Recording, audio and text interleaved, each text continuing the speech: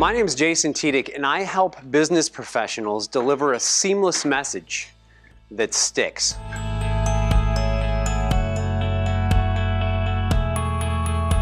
The first step to prepare, you all can see this, you want to get your audience to be like this dog, where they're salivating to listen to you. And here's how you do it. Step one, you send them an email.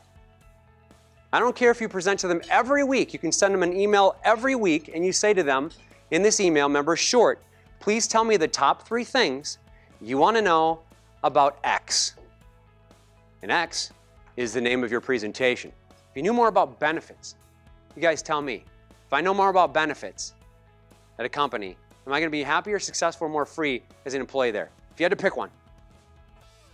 Successful, she said. Why? That's write this down. Why? Because that's the number one motivator. Why? Why do you think that is? Just shout them out. Why will I be more successful if I know about benefits? Say again? I'll have more knowledge. And why is more knowledge cool for me to know about benefits? Why do I care about that? I'm not there yet, so keep it coming. More informed decisions. If I can make better informed decisions, why is that cool? Why is that going to make me successful if I can make better informed decisions?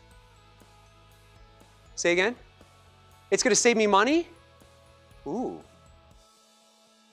Hi, my name is Jason Teteak, and I help employees save money at our organization. What do you think? Is that relevant? You might say, oh, I, that's not mine, Jason then it's probably happiness or freedom, isn't it? I help employees save time trying to figure out how to do X, Y, and Z. You feel this? Happiness, success, and freedom.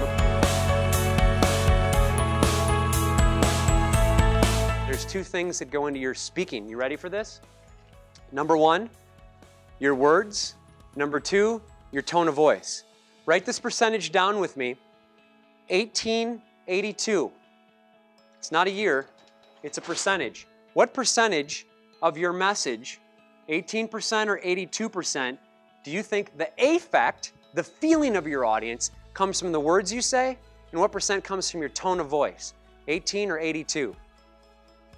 18 what? Words. And yet, what do most people prepare when they're getting ready for their presentations?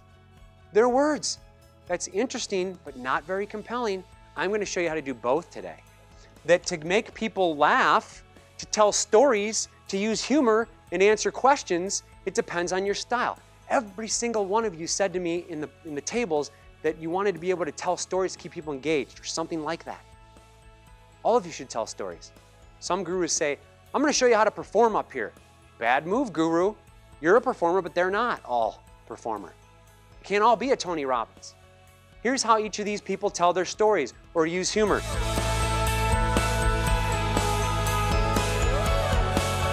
because that's what looks what? Confident. The other thing is when I'm done talking, I close my mouth. This doesn't look very confident when I'm doing my pauses. And yet you wouldn't believe the number of people when I record them that do this. The other thing is I'm doing eye contact with everyone in the audience. If it's an audience larger than 30, which this one is, I make eye contact with every section of the audience for at least three seconds every minute.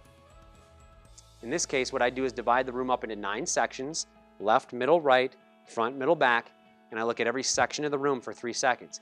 Now, since you're less than 100, I'm not going to stare at a group for three seconds. That gets a little creepy. But I am going to look at you for about a half a second, and then I'm going to move on. When your eyes look at their eyes, that makes them feel what? Safe. Many presenters say, Jason, it just feels too awkward for me to look at them all. But it's not about you. It's about them.